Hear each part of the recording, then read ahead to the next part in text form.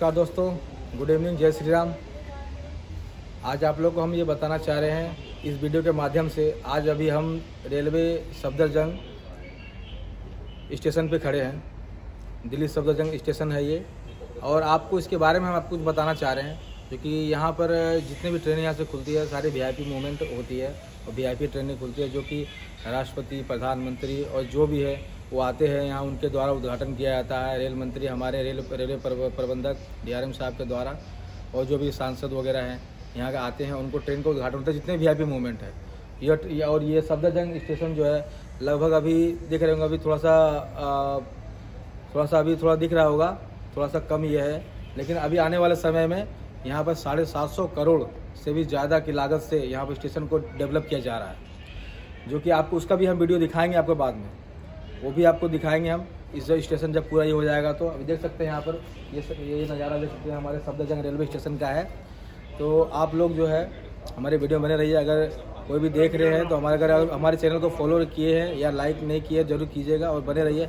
हमारे साथी, हमारे साथ सत्येंद्र जी है, जो अभी आपको हम अभी इसके, आपको बताएँगे स्टेशन के बारे में जो भी और जानकारियाँ हैं। आपको खुल के थोड़ा डिटेल्स बताएँगे। तो आप बताइए सफदरजंग के बारे में जो क्या क्या डेवलप होने वाली है क्या ट्रेनें कल चलने वाली इसके बारे में आप क्या बताना चाह रहे हैं? मैं बताना चाह रहा हूँ कि ये दिल्ली सफदरजंग रेलवे स्टेशन है। जी। ये दिल्ली की सबसे वीआईपी रेलवे स्टेशन की श्रेणी में आती है? जितनी भी बड़ी और वीआईपी मूवमेंट होती है वो यहीं से होती है चाहे वो राष्ट्रपति किसी मंत्री या प्रधानमंत्री को कहीं जाना हो ट्रेन से तो वो यहीं से जाते हैं। यहाँ से सबसे वीआईपी ट्रेन जो महाराजा एक्सप्रेस है, वो भी यहीं से टूरिस्ट ट्रेनें हैं वो वो भी यहीं से चलती हैं। ये बताते हुए बड़ी खुशी हो रही है कि यहाँ से कल फिर एक ट्रेन गुजरने वाली है, जिसका नाम है भारत गौरव।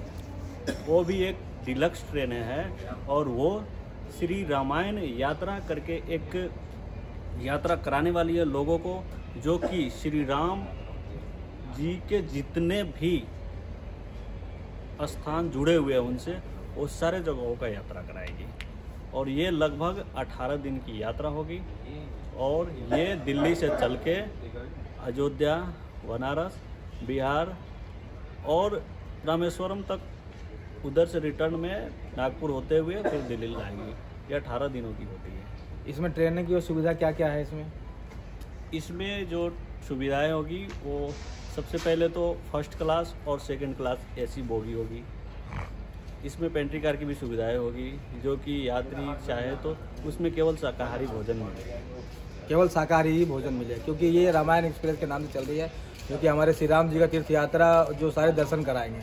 इसीलिए इसमें नॉनवेज की कोई सुविधा नहीं है, जैसा कि आप जान रहे हिंदू धर्म में, और जब जो दर्शन करने आते हैं, वो शाकाहारी भोजन ही खाते हैं। और क्या क्या इसके जानकारी स्टेशन के बारे में कुछ बताइए? क्या है यहाँ ये स्टेशन अभी आपको पीछे देख सकते हैं ये थोड़ा सा टूटा फूटा दिख रहा होगा क्योंकि इस स्टेशन का डेवलपमेंट चल रहा है लगभग साढ़े सात सौ करोड़ की लागत से इस ट्रेन का इस रेलवे स्टेशन का डेवलपमेंट किया जा रहा है जो कि दिल्ली की सबसे बड़ी स्टेशन आपको कुछ दिन के बाद देखने को मिलेगा। और आप देख सकते हैं काम बहुत तेज़ी से चल रहा है यहाँ पे। और ये मुझे लगता है एक से डेढ़ साल में बनकर तैयार हो जाएगा पूरा फाइनली वो भी एक देखने वाला नज़ारा होगा यहाँ का। और और सारी ट्रेनें यहाँ से जो कि वी ट्रेनें होगी सारी, यहीं से चलेगी। धन्यवाद। तो हमारे जैसे अभी जानकारी दी है हमें और आपको हम कल हमारी वीडियो के माध्यम से आपको हम इसकी जानकारी देंगे, जो कल ट्रेनें चलने वाली हैं यहाँ पर। और जो भी हमारा डेवलपमेंट होगा यहाँ के स्टेशन होगा उसके बारे में आपको बताएँगे आपको ज़रूर। अगर आपने हमारे चैनल को फॉलो नहीं किया, ज़रूर फॉलो कर लीजिए। ताकि सारी जानकारी आपको हम देते रहे। धन्यवाद।